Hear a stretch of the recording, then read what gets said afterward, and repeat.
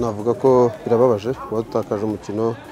Twumvaga ko turi bubone amanota atatu uyu munsi ariko ntabwo byadukundiye. Twakinnye navuga ko twakinnye igice cya mbere tugakinya neza tugitangira igice cya kabiri turarangara mm, dukora amakosa ni bwo hasigaye tubona igitego.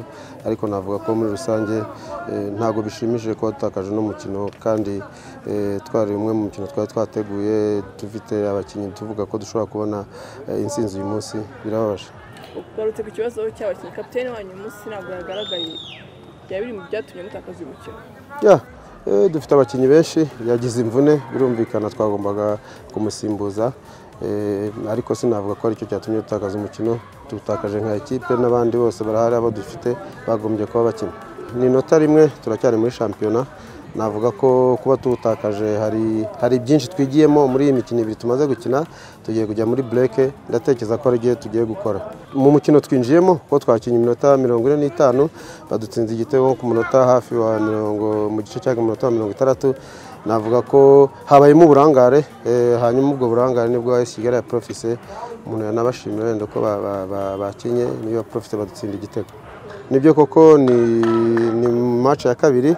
Hanyuma intego zacu kwari ugutsinda umukino ku wundi kwari kuzamura performance y'abakinnyi ariko navuga ko mu kuza muri izi match ebyiri ntago ibyo twifuza biraba byo ni ugukora ku bureke tugiye guprofita dukore kugira ngo byibuze eh, intego zacu zo gutsinda match zo kuzamura performance y'abakinnyi zo kuzamura urwego rw'abakinnyi zo guhuza umukino abakinnyi bashya eh, n'abasanzwe byibuze tukareba ko twazigeraho isoko nirarangira rizafunga kuri mirongo itatu na rimwe ngira ngo eh, imiryango iracyafunguye turacyari gushakisha kugira byibuze ture ko hari nk'umukinnyi umwe cyangwa babiri twakongeramo eh, mu ruhande rw'ubusatirizi. Eh, umaze mu mupira y'imyaka nayibayemo ndi umukinnyi ndimo ndi umutoza ni byo uba umenyereye. Uba ugomba kubyakira rero nk'umutoza izo situwasiyo zose. Ni pati y'umukino eh, ni uko twagize uburangare mu guhagarara neza.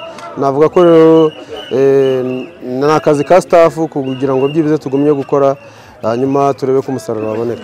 Ni performance itabaye nziza kuri ekipe yose ubwo ahubwo icyo dukora ni ugukosora ayo makosa.